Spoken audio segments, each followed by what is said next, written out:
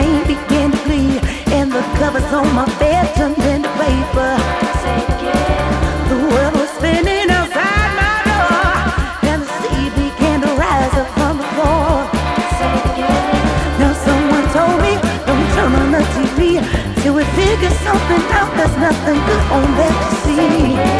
Well, I'm not really one to follow their